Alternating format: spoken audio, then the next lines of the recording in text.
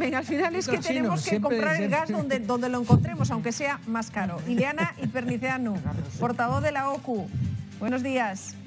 Buenos días. Yo lo resumía así ya por buscarle la, punta divertida, pero no tiene nada divertido, es un tema en el que lleváis vosotros, las organizaciones de consumidores, mucho tiempo peleando, ¿no?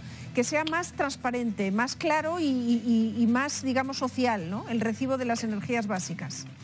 Sí, está íntimamente relacionado lo que tú comentabas, María, y lo comentabais en la mesa, el gas, el mercado mayorista del gas con el mercado eléctrico, porque como todo lo que se ha dicho es cierto, es decir, em, la factura sigue siendo muy opaca, el sistema de fijación de precios y de remuneración a las diferentes energías es opaco y ningún gobierno, que nos perdonen todos, ha querido entrar eh, a saco, si me permitís la expresión. Se van pasando la pelota cuando están en la oposición, pero realmente están haciendo hasta ahora poquito.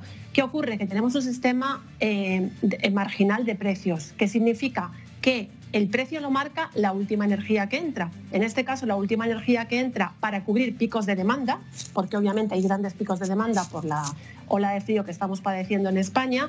Entonces, el que entra es la central de gas eh, combinado, el ciclo combinado, que entra ahí el gas, que como sabéis y tú has dicho, María, efectivamente está también muy caro en el mercado mayorista. Pero para cubrir esos picos de demanda es necesario tener esas centrales de ciclo combinado, porque si no las tuviéramos en picos como los de ahora, en los que todos tenemos que poner la calefacción, tanto eléctrica como de gas, muy alta, no podríamos cubrir la demanda. Es decir, mientras sigamos teniendo ese sistema de fijación de precios, de remunerar a la última energía, que en este caso es el gas, pues vamos a tener este resultado. Para tranquilidad un poco y contextualizar, María, si siguiéramos con estos precios tan elevados, históricamente elevados, eh, que recordemos que venimos un 2020 que contamos siempre activo, que es lo malo en este caso, que son muy elevados. El 2020 fue anómalamente también eh, precio bajo. Si siguiéramos con estos precios, eh, pagaríamos en un recibo medio la factura, que todavía no tenemos factura, a finales de mes de unos, unos 20 euros más para un hogar medio.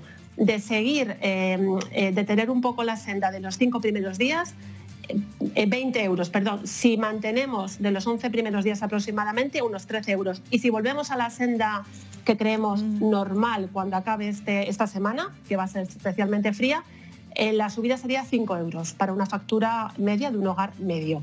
¿Qué ocurre? La buena noticia, como tenemos mucha nieve, eh, los embalses se van a llenar y en abril vamos a tener una factura mucho más económica por la energía hidráulica, con lo cual, bueno, eh, esto es, ya sabéis, hay que hacer análisis anual. Y sobre todo, último mensaje, no ponernos nerviosos y cambiarnos a cualquier otra tarifa que nos eh, ofrezcan porque sigue siendo lo más interesante, a pesar de este pico puntual, el precio voluntario al pequeño consumidor. Esa subida está, va a incidir a, cuatro de cada diez españoles, porque el 60% están en mercado libre. Pero es que hay personas de ese mercado libre que tienen tarifa filomena todo el año. Ya, ¿Qué es esto que está pasando ahora? Sí, sí, sí, sí. Ah, eh, es importante eso, no, no, no, no volvernos locos con el recibo de enero, que aunque sea malo, luego vendrán otros que bajará y, no andar haciendo experimentos ahora que, que nos la podemos liar todo el año. Gracias, Ileana, por el consejo.